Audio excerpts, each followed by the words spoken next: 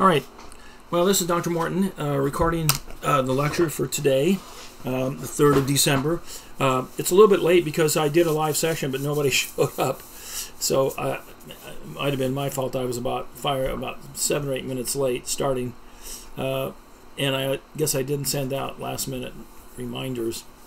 Um, so, um, well, anyway.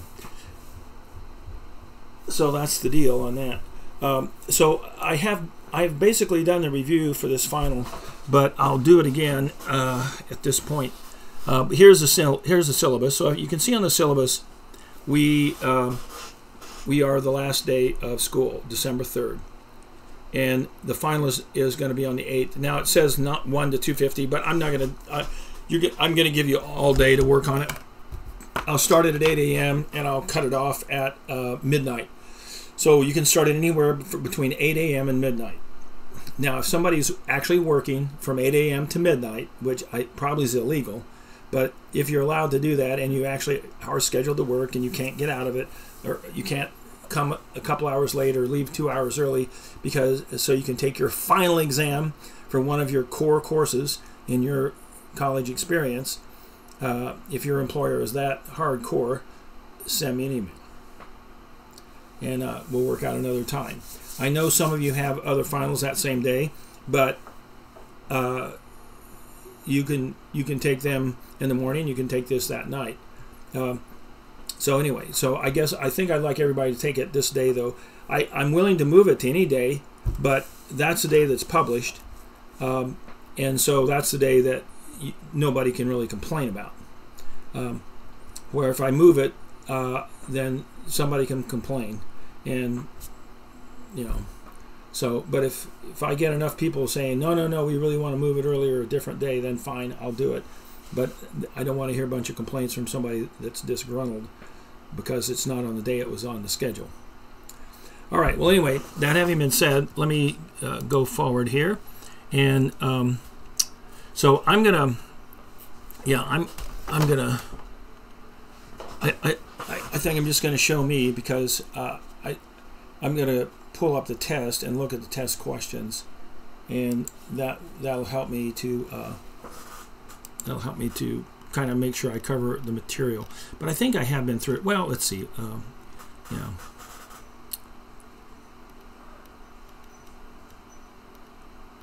So, sorry. What am I? It's Pluto. It is. It's the right thing. Okay, there we are. 3463. Okay.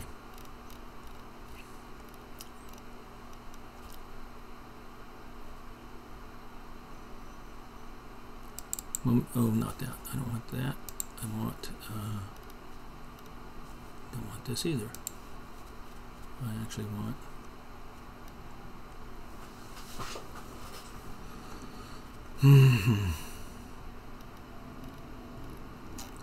Why am I having trouble?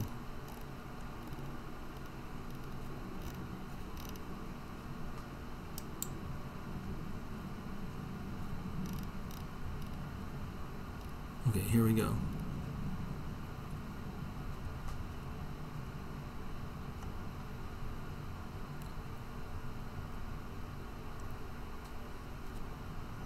Okay. Okay. And then all right. So um so yeah, so I Okay, so I think maybe one of the things I might do is, is go through some of the module stuff. I'm only going to ask you about some of the modules, so I think I'll do that. I haven't really specifically do that, done that, and I'll, I'll show you the, I'll show you these things because these are different than what I'm actually going to do.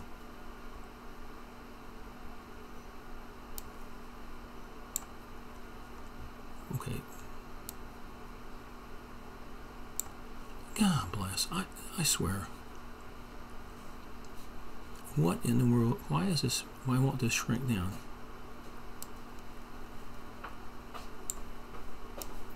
I don't know. I was ringing the doorbell. Okay, so continuing. So I'm just going to go through the modules. I, will probably talk about all of them, but um, only really the ones you use in lab, and a, a couple of others will actually be included. So Um, yeah. All right, A to D conversion. So, how many bits of resolution is a A to D on the 1829? Well, it's 10 bits. Um, method. So it uses successive approximation, and you remember how that works, and it starts with the highest bit first. And it sets that, that uses a comparator, compares the, uh, the, the digital to analog conversion value out of the SAR and compares it to the actually actual sampled voltage on the input pin. And if it's higher, it clears that high order bit and sets the next bit in line. If it's lower, it leaves that bit set and then sets the next bit in line and does another comparison. And if that comparison is higher, it clears that bit and goes to the next. If it's lower, it leaves that bit set and goes to the next. And after it goes through every single bit, taking taking uh, you know 10 steps, you finally get to the last bit and it leaves it set or cleared depending on whether it's higher or lower. And uh, and that's your plus or minus 10 bits plus or minus one bit uh, conversion. So that works pretty well. Um, okay. How many A to D inputs are available? There are 12 of them on, on this chip. So you have power ground and you have master clear. So there's 17 GPIO pins. Now we're using two of them for the uh, for the snap, so we can debug code and stuff. But you, you could theoretically use those. So you have 17 pins you could use. Of those, five of them do not have an analog function, and and 12 do. And those are the 12 analog pins, which also happens to include A0 and A1. But since we're using those, you really only have 10 channels. Um, if you have a 10-bit result, uh, in the high and low bytes, how many bits of, of, the result are in the high register if you use right justification? Well, if you right justify it, there's only then you, you have eight bits in the lower register and the upper two bits in the high register. If you use uh, if you use uh, VDD as your high voltage reference and ground as your low voltage reference, then what would your A to D result be uh, if your analog signal is very close to VDD? And the answer is it's it's going to be the maximum value of your 10 bits, which would be 1 1 1 1 1 1 1 1 1 1 or 3FF, which is 1024. The conversion process starts with the least significant bit and works towards the most significant bit. Nope, the other way around. How many simultaneous conversions does the PIC do? Well, at a strictly uh, theoretical level, it only has one successive approximation converter module, so it can only do one conversion at a time.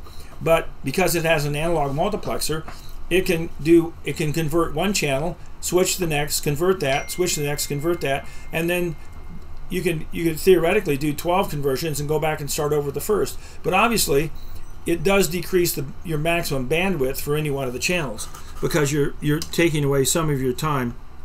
Um, so, uh, so when you do those when you do those conversions, uh, when you do more than one channel, then your maximum bandwidth is decreased. Usually, when we're doing when we're doing analog to digital conversions with this chip, we're really not trying to do uh, um, high frequency signal processing because it's not made for that. Um, I just took a look at a chip, um, a new product that Mouser has from Advanced Micro Devices, and uh, uh, this chip is amazing. It has four channels of D to A and two A to D channels. And these channels can run, the, the D to A can do four gigabits per second, and the A to D can do, uh, no, I take that back. Yeah, four, I think it's, maybe maybe the D to A can do eight gigabits per second, and the a, a, the D to A can do eight, and the A to D can do four or six rather. Yeah, six. So it can it can operate at uh, it can take signals in the in the bandwidth of 24 gigahertz.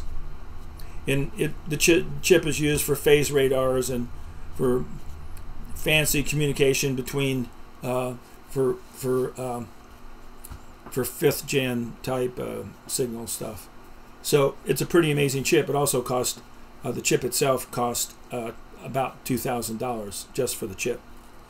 Um, but that's that's kicking. So if you want to do if you want to do high frequency stuff, you have to you, you have to buy dedicated chips. Imagine two thousand dollar chip, but twenty four gigabits, twenty four gigahertz is very fast. This chip can maybe do two kilohertz. So uh, maybe a little more. That's probably about it.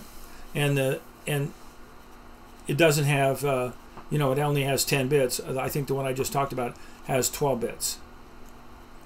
So it's it can scream. But it's also a $2,000 chip, just the chip. The evaluation board is $3,000. And they're they're going to have four of them uh, in December to sell. That's it. No more. So get in line if you've got $3,000. Um, pretty amazing. But the stuff they're coming out with these days is just unbelievable. You can have your own phased radar, uh, phased array radar uh, with, you know, with something the size of a shoebox. Uh, I mean, it's pretty incredible. Um, yeah, I don't know. Uh, it's, it's hard to even imagine what this is going to look like in 10 years because those chips will get cheaper. And um, I mean, your car is going to have better radar systems now than cruise ships do in about 15 years or 20 years. Or, or maybe maybe not quite as good as the military, but unbelievable. All right, um, so so it can do one it can do one conversion, but it, it can it can scan through 12 channels.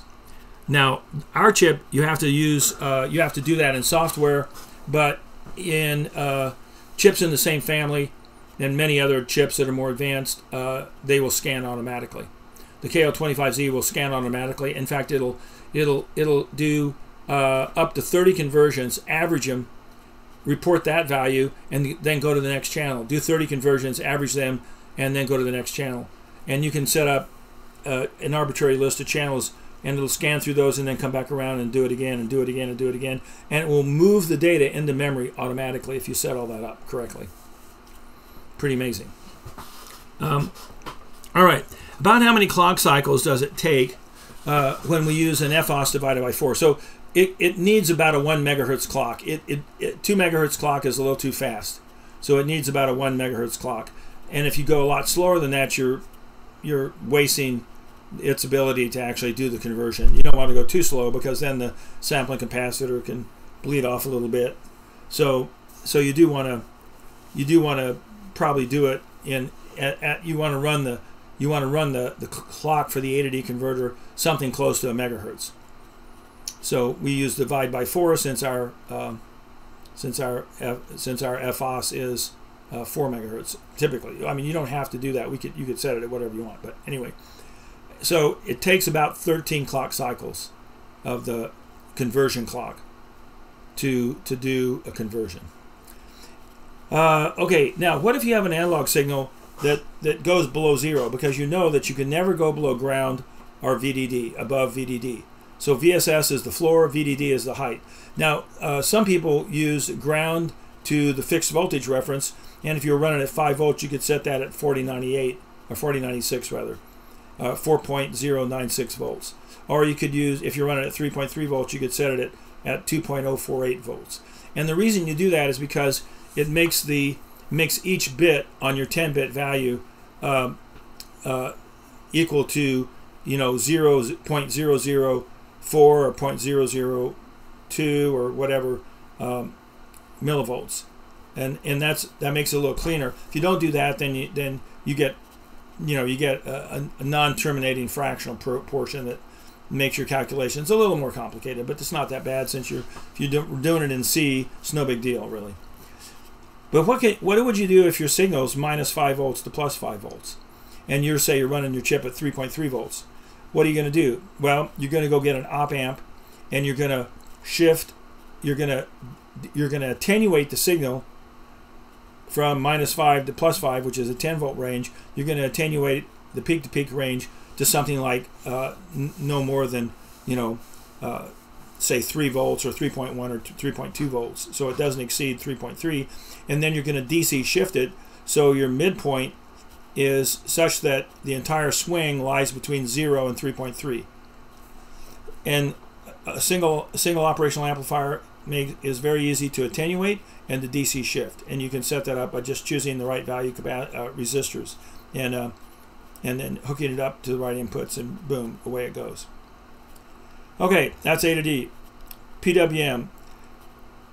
So when we deal with PWM, we deal with duty cycle, pulse period, there is an output voltage, and obviously the inverse of pulse period is pulse frequency. Um, so the maximum voltage output of the module is generally limited by VDD. Yes, that's right. Your microprocessor is running at 5 volts, then your PWM pins can't put out more than it's going to put out 5 volts. Uh, it's going to run at VDD. It's either going to be 0 or VDD.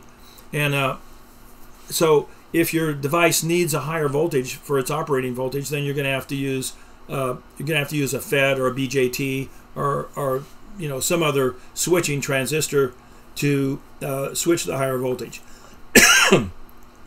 or maybe even an H bridge, depending which uh, which just basically has four switching transistors in it.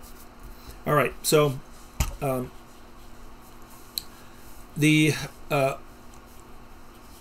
sometimes when we have a motor or some device like an LED and we want to change the brightness, we'll vary we'll vary the voltage. And in the old days, they used to they get a, a big power resistor for like a motor uh, that could handle a number of amps, and they would just uh, they would just uh, increase the resistance. The motor would the some of the voltage would drop across the resistor, and the rest would go to the motor. And but that voltage drop across the resistor at a number of amps would generate a fair amount of heat. And so these uh, these variable resistors were called rheostats, and they were they, they were usually big, uh, heavy wire coils wound on um, uh, with a certain amount of resistance in them, uh, like nichrome wire, or that kind of thing, and they were wound on a ceramic form so that they could get pretty hot, and and the heat would be dissipated into the atmosphere. And uh, that's how they used to control motors, uh, at least to some degree. There, were, there are other ways too. Uh, but uh, anyway, that was one way they did it. Not a very efficient way because a tremendous amount of power is wasted. But the other problem with it is when you have when the motor is at low power or when the voltage is fairly low, and the volt and you want your motor to turn real slow, but you want it to have good torque.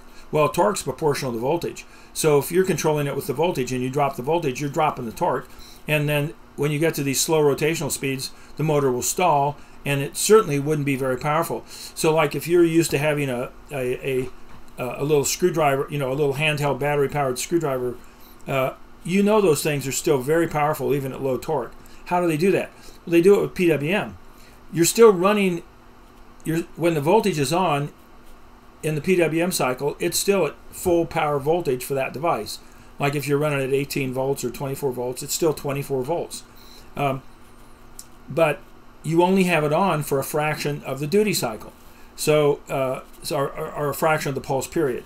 So so your duty cycle is maybe you know at very slow RPM is maybe you know one percent or two percent of the pulse period.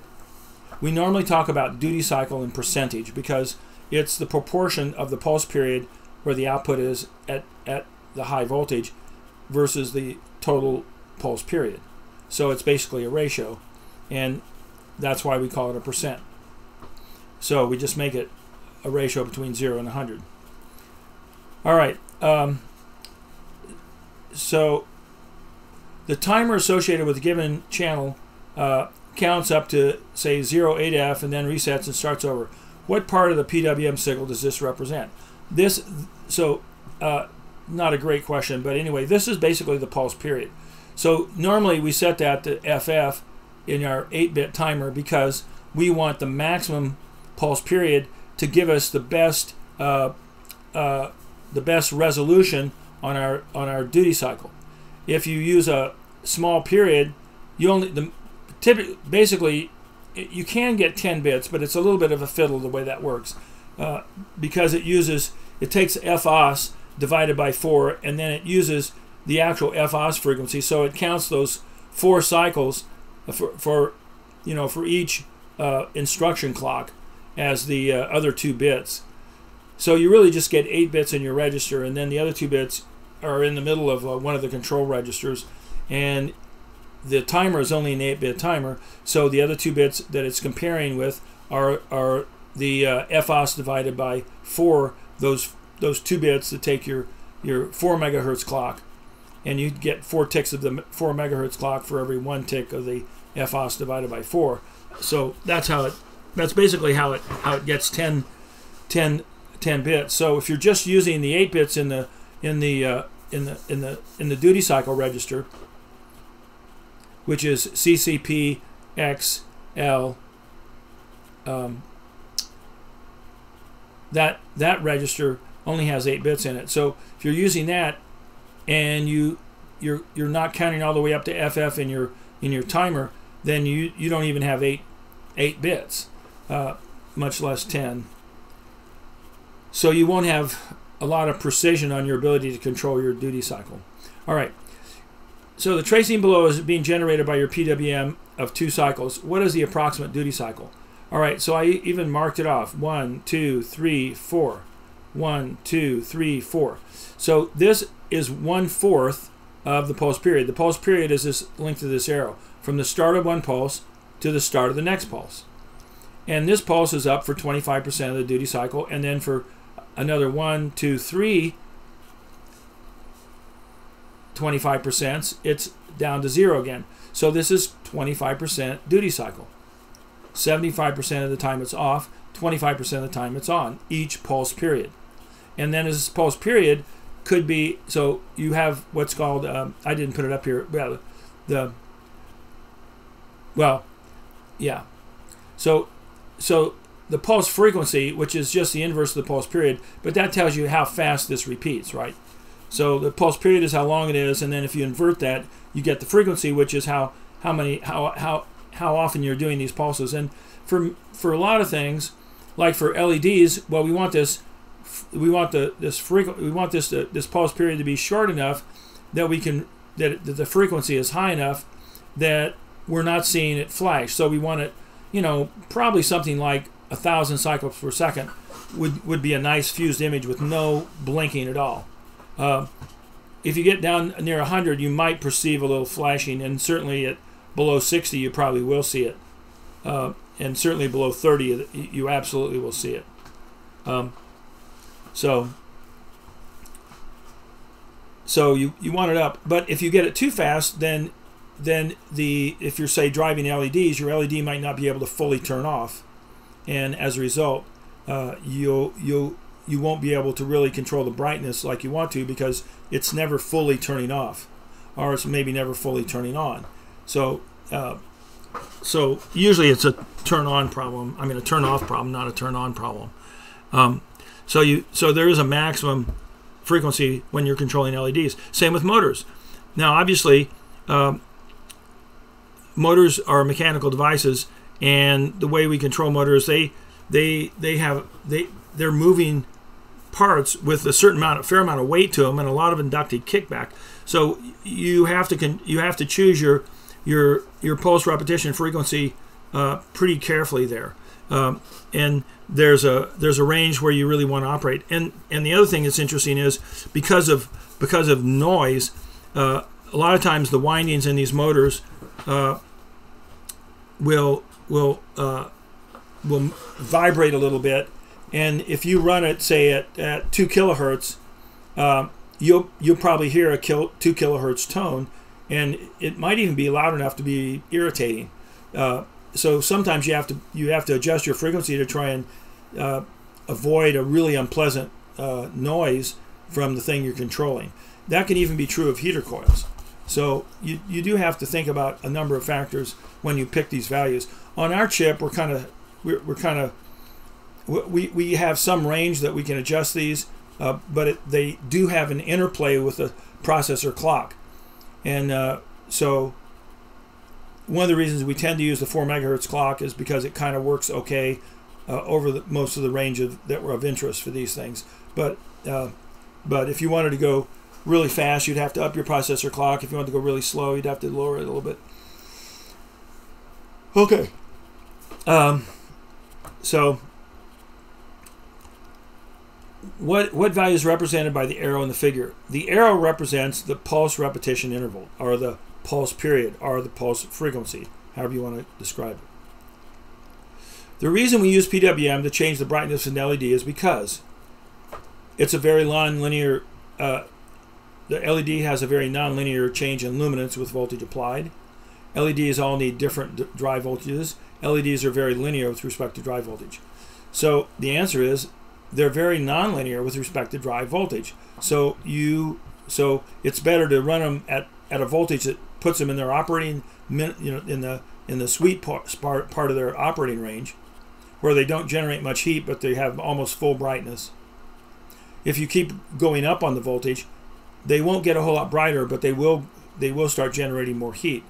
So that's why you don't want to do that. It's because you're wasting power. Uh, so so we when we do it with PWM, we can pick the drive voltage and then we can still vary the, the luminance by the percent of the by the duty cycle. If we have 100% duty cycle, there'll be there'll be maximum brightness. If we have no duty cycle, there'll be minimum, and it's pretty linear in those ranges because we're we're changing the amount of power we're delivering. We're not changing the voltage, and they're nonlinear for voltage. So one advantage of PWM for controlling power delivered to a device over a variable resistor, like a rheostat, is that very little power is being wasted in the PWM process. That's right. When we're in this part of the cycle, no power is flowing. So we're not wasting any. And and we're not and we're certainly not wasting any in a big resistor trying to control the voltage.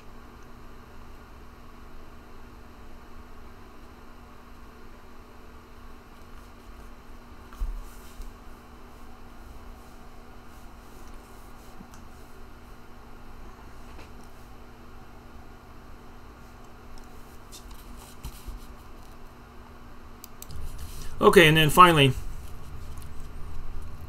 getting a DC motor to run very slowly is always possible with a var variable resistor. No, it'll stall out. Uh, you can get it to run a whole lot slower with PWM than you could ever with a variable resistor, and with a lot more torque. Uh, with a variable resistor uh, or variable voltage, however you want to vary the voltage, you could do it with a transformer too, I guess, uh, which would not waste as much power.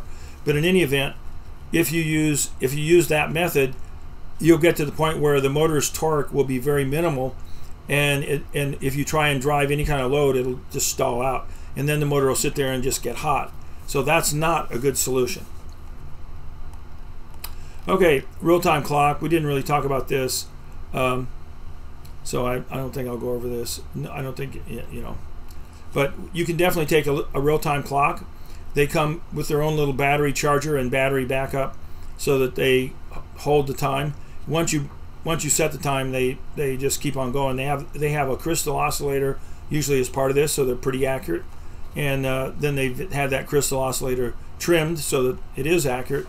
And they'll just sit there and crank away. And they're they have uh, they're on a 400 year cycle thing where they know about uh, leap years and I think they even know about even centuries divided by four. So like the, the century 2020 uh, 20,000, uh, which now is 20 years 21 years ago almost. Uh, that should have been a leap year, but it wasn't because of the the the rule that even centuries divided by four are not leap years. But otherwise, pretty much all centuries would be.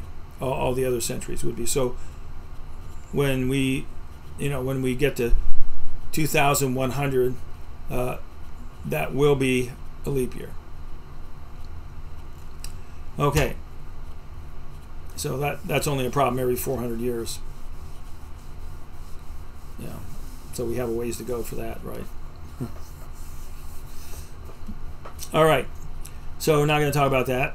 Um, interrupts. So you did use interrupts. Some of you have used them for your projects, which is very cool.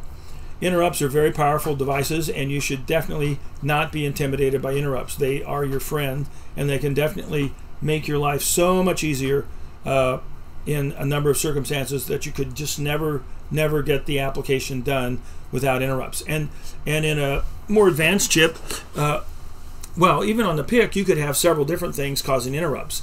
Um, it, it, the, the PIC has lots of different interrupt sources. Uh, we only used one at a time, but you can have multiple ones enabled. Just remember, when you finish one interrupt, you have to you have to check to see that which flag. If you're using like three interrupts, then you have to look at all three interrupt flags and see which one was set to cause the interrupt, and then service that device, and then return. And then in the meantime, one of the other ones may have set its flag, which means you would immediately re-interrupt once you return from the first interrupt, and then you'd service the second one. But you'd only know that if you go out and check the flags again. And you also al- almost always have to clear the flags manually. Uh, so in the interrupt service routine, you generally should clear. You generally have to clear the interrupt flags. Um, okay, so um, what interrupts can occur when the GIE, GIE bit is cleared? None. Will the interrupt flag bit still get set even if the corresponding interrupt enable bit is is cleared? In other words, you're not actually going to cause an interrupt, but will the interrupt flag still work?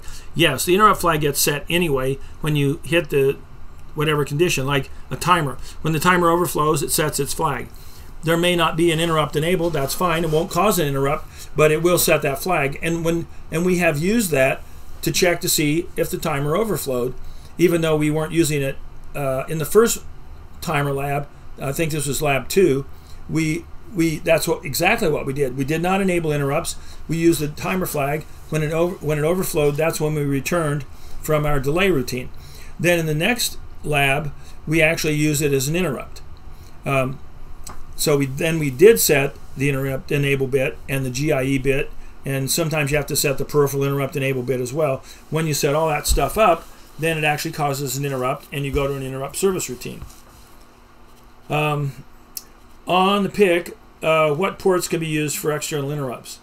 So um, the the interrupt on change, I believe, only applies to A and B. Let me take one second and check that.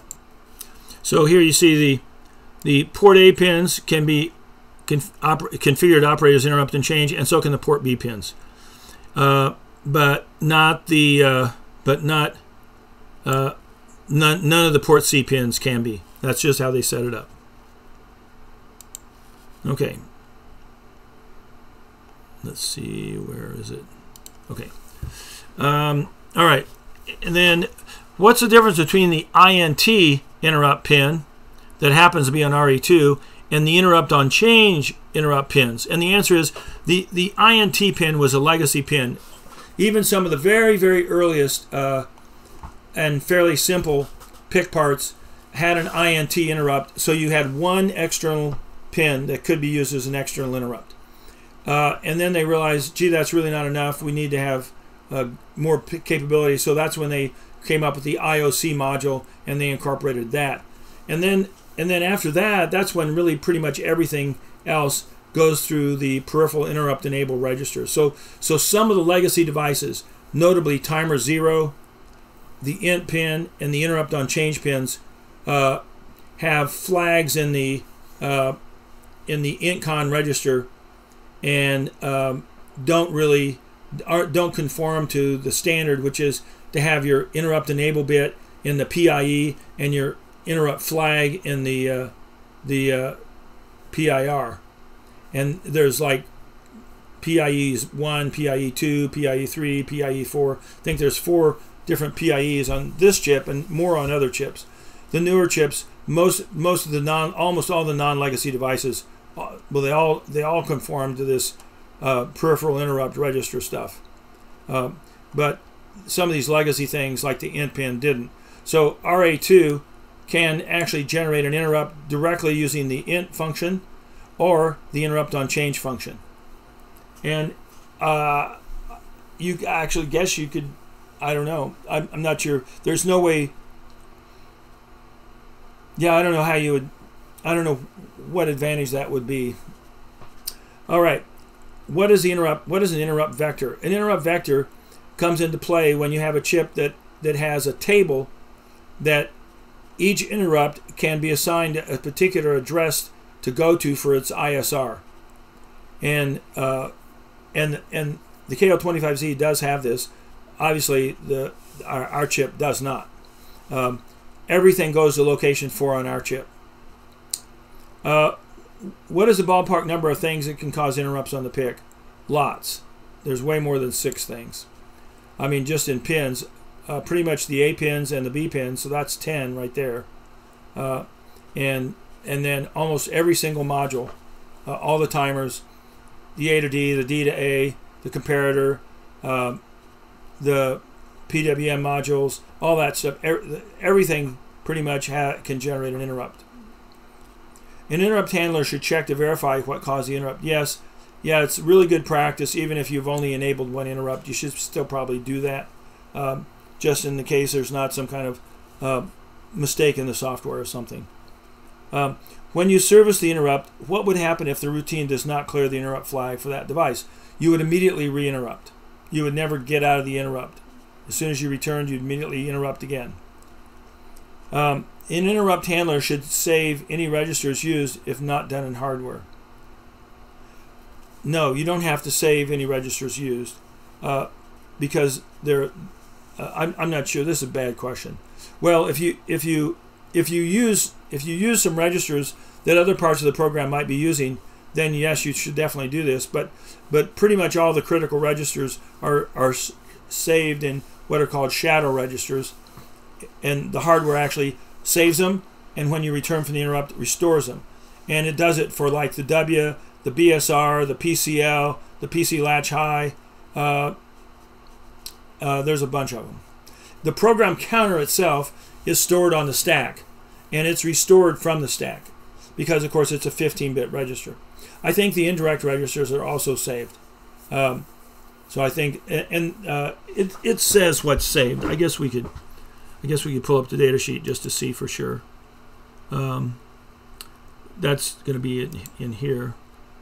So context, automatic context saving. So let's look at that. See if we can see where that talks about.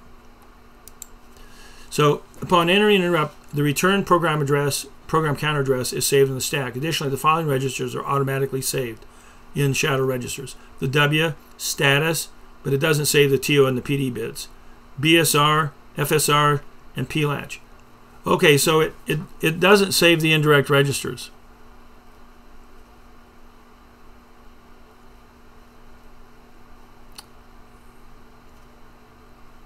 Yeah, and these registers are actually available in Bank 31, so you can read them and write them if you want.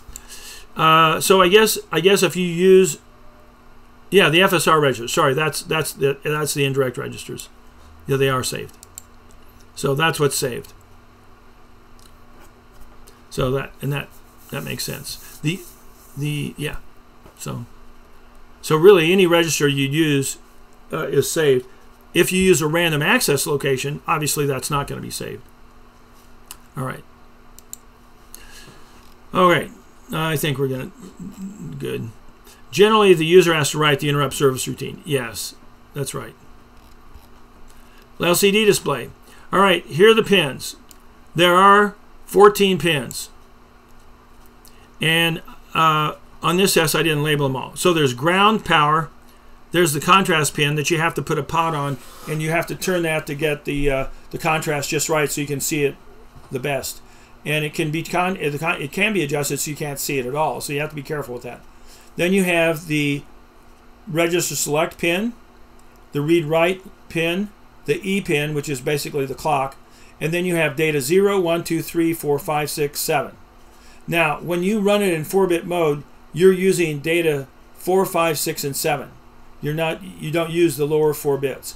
These should these should have these should have pull up resistors on them because if you uh, if you put it in output mode in read mode, then these will get driven, and you don't want to you wouldn't want to ground them and then have them be driven to ones and and basically have a short circuit, which which it probably would survive, but it's just not a good idea.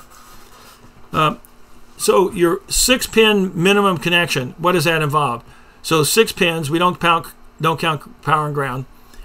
Contrast, you don't control that with the uh, micro. You just you just have a little pot. So the pins you need is you need the you need the read write. You don't need the read write pin because you're you, you generally are always going to write. The only reason for reading is to uh, is to check the busy bit, which you don't really have to do. You can just do a fixed delay. So so you can so you do have to have the the RS pin controlled. You do have to have the E pin controlled. You have to set this to, to, to ground so that you're always writing. And then you need the four high data, data bits, data 4, 5, 6, and 7.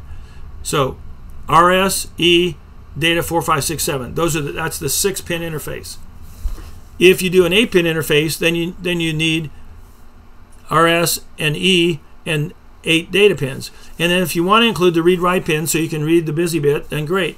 Now you've got now you've got an 11 pin interface.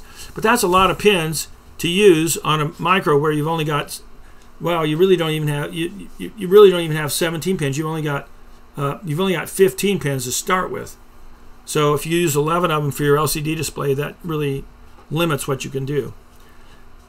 And that's also why why we used the I squared C interface um, so that you only had to use two pins. And not only that, but you could use those for other I squared C devices too. All right, in 4-bit mode, which four data lines? It's the high four. All the commands to display take the exact same amount of time to execute. True or false? No, that's false. A couple of the commands, the, the clear display goes out and writes uh, a space bit in every single location that's displayed, and it takes it almost two, uh, yeah, I think it takes us almost two milliseconds. Whereas most of the time, it happens at about 40 nanoseconds. So it's, so it's pretty fast most of the time, but a few of the commands are particularly long commands. What is the simplest thing you can do with the contrast pin? If you just ground it, you will get some kind of display. It's it may not be perfect. Uh, so if you really want to control it and make it nice, you do have to have a pot. Data command, data and commands are written on a display on the edge of the read write pin. No, on the edge of the E pin. When the display powers up, it's in the off state or on state. It is in the off state. Powers up and off mode. Remember we talked about that? And you first have to issue a command to turn it on, to set the cursor, and to put it in 4-bit mode. What pin is used to tell the LCD display whether the next data bits uh, are text or a command? And that's the RS, register select line, the RS line. Not the RW, not the E, but the RS. In general, we only want to read the display to see what uh, character was just displayed. N yeah, no. We why would we do that? We we just wrote that character out there. There it is. All right. Temperature sensor. So we we use the MC. Uh, I, I need to probably update this, but we use the we use the MCP uh, 9700 and uh, it puts out a voltage proportional to the temperature. And if you're if you're running with an 8-bit A to D, not 10 bits, and on a I forget it 3.3 uh, I don't know I have to look I think if you're running it I don't know I have to go to the data sheet I, it's it is a little tricky to get the stupid things calibrated you have to you have to play around with that a little bit but there's a there is a relatively straightforward conversion from voltage to temperature. All right. Some sensors are pre-calibrated and some have to be calibrated. That's right. The the MCP 9700 is pre-calibrated. Your internal temperature sensor on your uh, PIC die, that has to be calibrated. How does the temperature data get into digital format? You use an A to D converter on your chip. Is the relationship between temp and voltage linear or exponential in most sensors? It's linear in most, and uh, that's how they're set up. Sensors most commonly work by measuring the voltage drop across one or more PN junction. That's that's how your internal temperature sensor works. I don't know if that's how the external one works or not. Uh, it might use that and then they have some kind of calibration method. I don't know. Uh, the datasheet says, and I've read it, but I just don't remember. Some sensors calibrated in Fahrenheit and some in Celsius. Yeah, if you use the LM34 and the LM35, one of those is, is centigrade and one of those is Fahrenheit. Um, some sensors are calibrated to go down close to absolute to zero Kelvin, and some just to zero centigrade. Yeah, that's right. If they're going to be used primarily inside a building, they might they might only go down to zero centigrade. But if you're using, there's some that are for more scientific purposes or whatever, and they they may go they, they may go very close to Kelvin to zero Kelvin. Which sensor would be cheapest to use with the PIC? The PIC's internal or an external? Well, obviously the internal comes with the PIC. It's it's free. For the above three sensors listed, what module must be used to input the reading? A to D. Using the internal temp sensor in the PIC does not require any calibration. No, it does. GPIO. So we all use some GPIO pins. So we'll talk about this. What are what are the approximate limits on source and sink current capability for a GPIO pin? It's 25 milliamp source, 25 milliamp sink. Is there any way to tell a GPI, if a GPIO pin is shorted to ground on output? Yeah, if you if you're out trying to output a one and you think maybe it's shorted, all you have to do is read the port. Uh, with the with you know port a uh, RA1 equals well yeah uh, read read the port. And so uh, set your variable equal to port A and then check the pin. And if you're outputting a 1 but it's reading a 0 it's shorted because you're actually going to read the real value on the pin specify for the PIC what hex value you would put in tris B to make pin 4 and 6 for port B inputs and the rest uh, 5 and 7 outputs so port B has four pins uh, 4, 5, 6, and 7. So if you want 4 and 6 to be uh, uh, to be inputs, you want ones there. And if you want 5 and 7 to be outputs, you want zeros. So you would put 0, 1, 0, 1, or 5, uh, 0x5 hex. Uh, you put 0x5, 0. Because you want, you're only interested in the upper 4 bits, not the lower 4. So you, your second hex digit would be 0. If you only put in one hex digit, it's going to apply to the lower four bits, which aren't even implemented, so it's going to do nothing. Can you see? Can you use a GPIO uh, port to do uh, PWM by doing the timing in your code? Yes, you absolutely can do that. Uh, it means that's all your processor is going to be doing. Whereas the, the advantage of the module is once you set it, the module then continues to function at exactly the values you set, and you can change the registers and change the values anytime you want. But meanwhile, you can be doing other things, like reading in a potentiometer and using that to set the PWM or other things. But if you're bit banging it, you you might have to use like an interrupt routine to bit bang it or something like that, which you could do. Uh, that would be fine. And then you could do other things. But if you do it in mainline code, you're going to be stuck with very little flexibility. Okay. All right. So let's see. So um, notice here,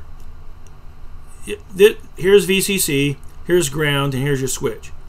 If you want the switch to read one, then you then you have to tie the switch to VCC, and you have to and you have to use a resistor to pull down the micro pin. If you want it to read the other way, you use a resistor to pull it up to VCC, and you tie the switch to the ground so when the switch is closed, it grounds the pin. When it's open, the resistor pulls it up to VCC. And we usually use about 10K for the resistor, just so when the switch is closed, we don't draw much current. Can you could you tie two pins together to increase current source capability? Yeah, I mean you could in theory, right? Uh, I uh, I typically haven't done that, but I, I'm sure it would be. It's I'm sure it's doable. but at some point, you begin to get close to the limit on the whole chip, because the chip can only do about 80 milliamps. So if you you tied three pins and you did 25 milliamps each, you're already up to 75, and the chip's probably going to use at least some of that. On the PIC, do you use the same instructions for GPIO pin writes and reads as you do for RAM writes and reads? In other words, is this I/O memory mapped? Yes, it is a memory mapped chip.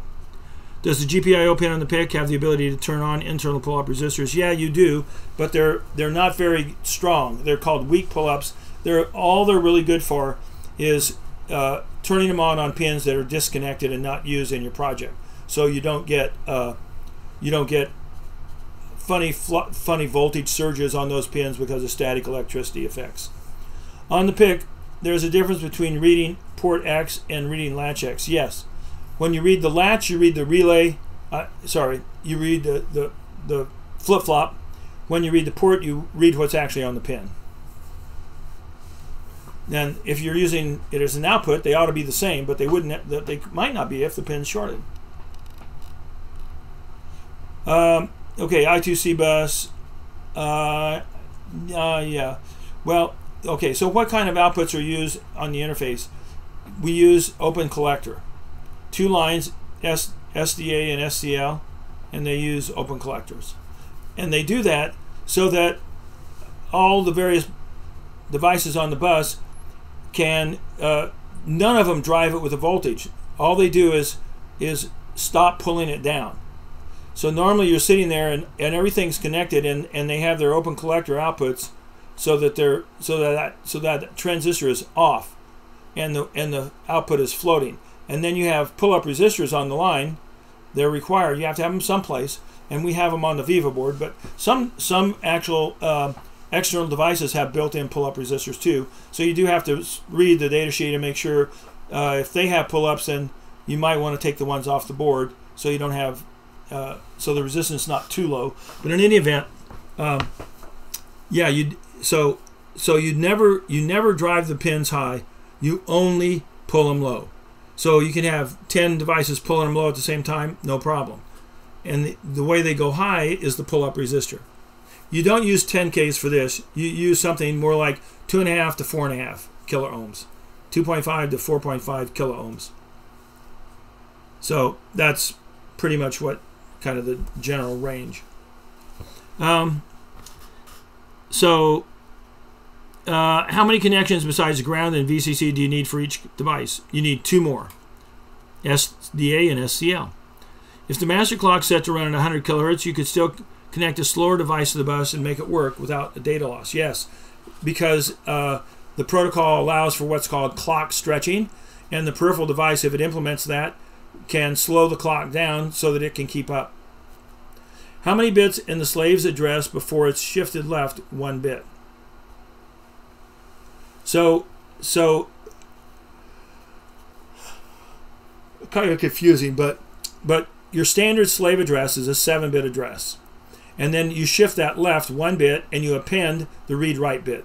So that your final slave address is an 8-bit address, but only 7 of the bits are the unique slave address, and the other bit is the read-write bit. How many bits, in, uh, sorry, can you have more than one master using the same I2C bus?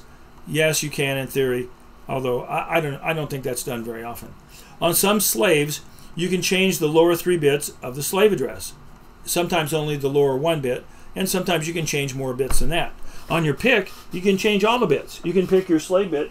It can be any any of the 0 to 128, although they think 0 is illegal, but but but 1 to 127. Uh, those are your choices. Um, and actually, I think it also implements a 10-bit slave address, or something like that, or 12-bit slave addresses, but I, I've never seen those used. Um, on some slaves, you can change the lower three bits, yes. What information does the least significant bit of the 8 bits sent with the memory address convey? Uh, yeah, so the least significant bit is whether you're going to read or write data from a slave. I2C is useful for connecting chips that require very fast data rates. No, if you want fast data rates, you should probably use SPI or parallel. Generally, data is sent 8 bits plus the return ACK bit at a time. Yes, that's generally correct. And there's also start start start signals and stop signals. Okay, uh, timer modules. We use those. So timers usually have a prescaler, 8 or 16-bit counter, postscaler, and usually a period register as well.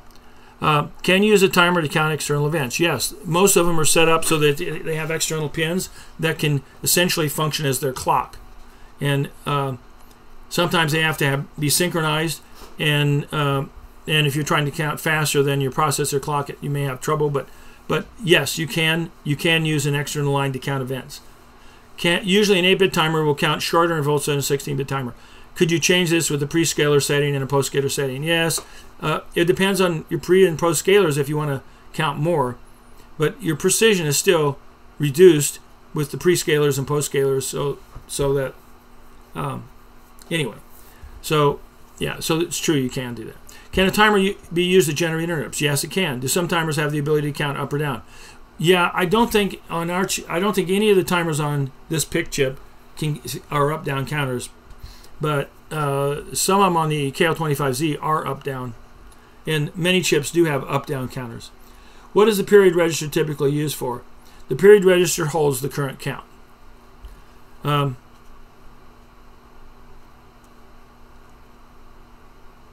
well, I yeah, yeah. Can you use the prescaler to have the timer count faster than the system clock? Nope. The prescaler just slows it down. Unrelated interrupts could affect the counting of the timer module.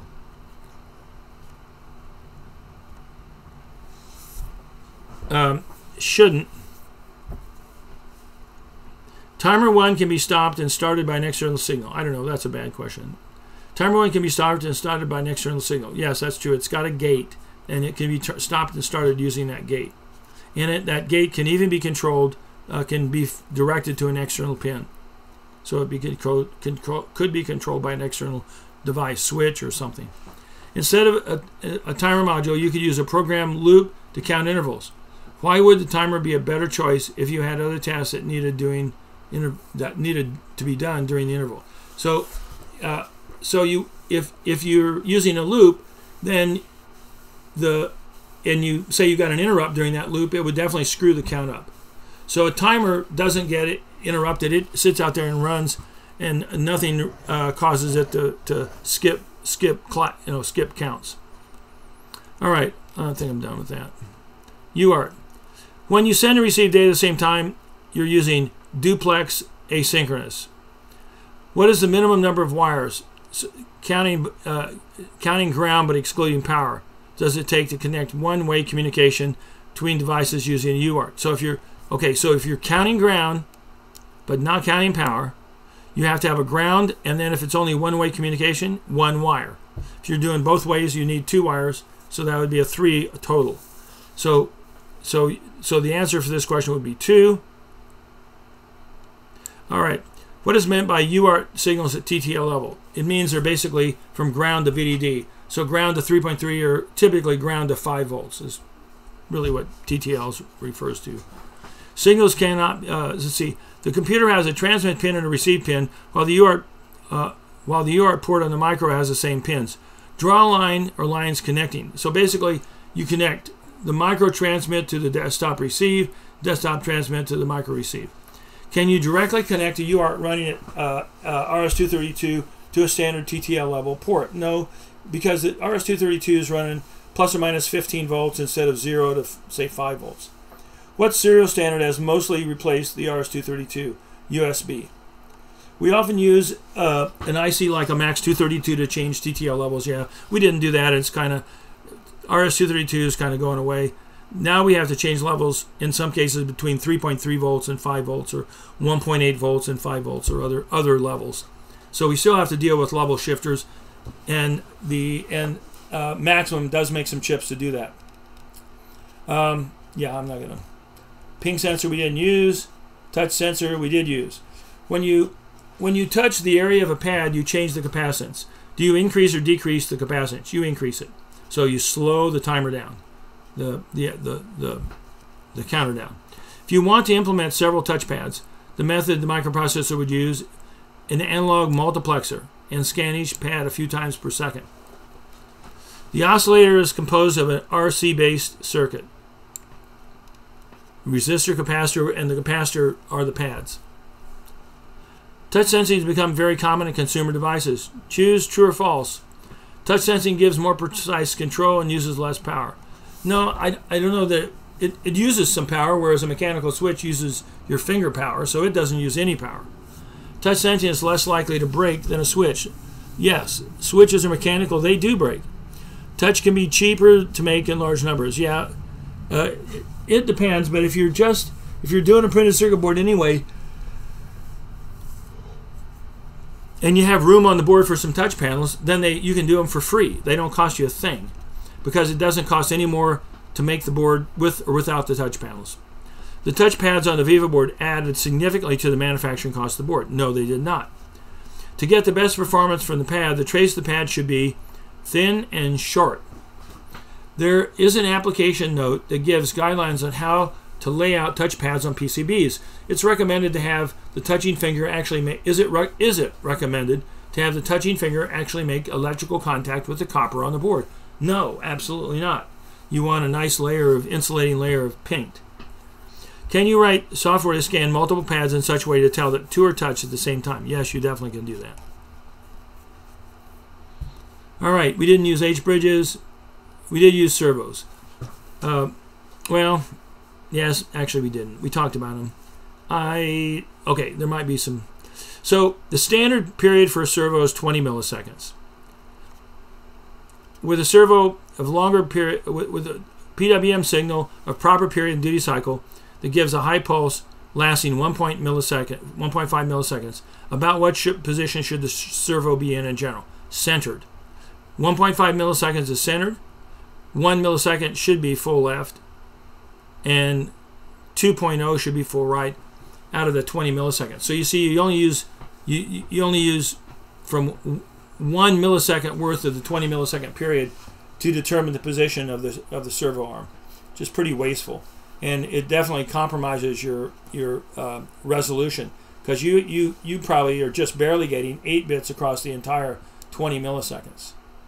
So if you're only using one percent of the that, then then uh, then you you get you're getting uh, essentially uh, I didn't say one uh, one millisecond, which would be five percent. So you're getting five percent of say uh, say 256 different positions. So five percent of 256, one percent would be uh, what two point almost about three. So you might have as many as um, 15 different locations you can specify angles. Uh, in the picture, how does PWM signal get turned into a voltage? There's this pulse width to voltage converter. That goes into the comparator, the, or the air amp. The air amp takes the position sensor, and if they're the same, then then it sends no command to the motor. But if there's an error, it's going to move the motor one way or the other to reduce the error to zero. Why do servos have a gearbox? Because these motors tend to run really fast, and you want them to go down a lot slower, so you usually have a big reduction gearbox. Uh, that, that also gives them a lot more torque than they would have otherwise. If your PWM module would use 100% duty cycle for the entire period, about what duty cycle would you need to center the servo? So, so if 100 if 100% duty cycle is the 20 milliseconds, then you you just need it's a 5%. So you centered it centered at 5. Full left at 1%. Um, no. Uh, sorry, centered at 7.5%. Full left at full one way at 5, full the other way at 10. Servos are limited to small DC motors. No, no, there are industrial sized servos that, are, that run on three phase 440, and they're very, very powerful. Maybe, you know, 100 horsepower or better. If your motor did not have a PWM module, could you use a GPIO port to generate a control signal? Yes, you, you can bit bang it. SPI, we didn't talk about that much. CCP, we didn't really talk about that. Accelerometer, we didn't. Photo, okay, photoresistor. So, use the photoresistor with GPIO is typically more reliable than using it with an A to D channel. No, you should use it with A to D because you can't really guarantee that it's going to change enough to flip the pin, um, and it may get you in between where it senses a zero and senses a one, and you're not sure what it's going to sense. Um, when exposed to light, the resistance between the leads goes up. No, it goes down. The photoresistor is considered a passive component. Yes. Which figure, which which picture in Figure two would cause the V out to increase? so, uh, with increased light on the photoresistor. So here, as the photoresistor gets uh, less resistance with more light, it pulls the center point closer to VN, so it so the voltage goes up. A reasonable guess of photoresistor value in dark is it's it's a, closer to a mega ohm than anything. Photoresistors all have nearly identical resistance from the same in, on the same during the for the same light conditions. No, they they're very variable. Even the same lot numbers they vary all over the place. Photoresistors are expensive. No, they're really cheap, cheap, cheap. In Figure three to the right, the V out would go down with darkness. Well, so this is a bad example because it's not going to change. Using the, assuming that your V out is sourcing very little current, it's not going to change. If if if there's much current being drawn, then it, then it will affect it then based on the because of the, the voltage drop across here.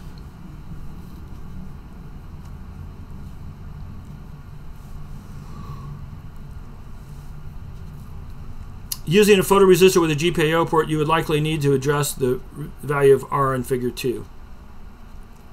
Yeah, yeah, if you weren't using an A to D, you would you would probably have to play with R to get it to work correctly. Figure 1 is very similar to the photoresistor we used in the lab. Yes. Uh, PIR, we didn't use that. PID, we didn't do that. 4x4 pad, we didn't do that. IR collision detector buzzer. OLED. Hall effect sensor. Joystick.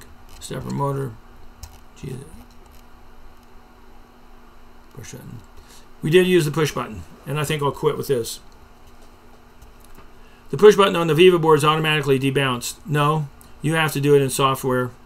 Uh, but depending on how you do it, you may not you, you may not have a lot of trouble with it. The push button has an associated three-pin header with a jumper to select between functions reset button and a and a push button input, a reset button or push button input on RB7. Yes, that's true. This is the correct circuit below. Um, yeah, it is. The value of the resistor should be small enough to quickly pull the pin to VCC, but large enough to provide minimal problems if the pin is being used for something else, and also minimal current draw too. How fast a user can spend uh, send in separate inputs is primarily under software control. Yeah, that's right. Uh, be, if you're reading it infrequently, the user can't send inputs in very fast. And if and if you read it too fast, you may count two inputs for um, one single push. unless you have some the, unless you're checking to make sure it, that the button's released first. Because the microprocessor is so fast, if the software is not written well, it's possible to read a thousand button pushes in less than a second. Yeah, that could happen with bouncing. Or you could just keep reading it while, while the finger's still on the button. In general, if a GPIO pin on the PIC does not have an ANSEL bit cleared, it will not work as an input. That's generally true, but there's some pins uh, that don't have ANSEL bits at all because they have no analog function, and RB7 is one of those pins. For this push button to work, the TRIS 7 bit must be equal to 0. No, it should be equal to a 1. It should be set as an input. The mechanical switch in the push button is subject to wearing out. Yes, it is. The button is a switch described as a momentary contact normally open switch. Yes, it's normally open. All right, I think that's it. So with that, I'm going to quit, um, and we'll do the final as written. Uh, and if you need help, I promise to do a review session at 8 p.m. Uh, tonight. Um, and I sent that out in the email. So I'll be online at 8 p.m. if you need help. And that'll do it.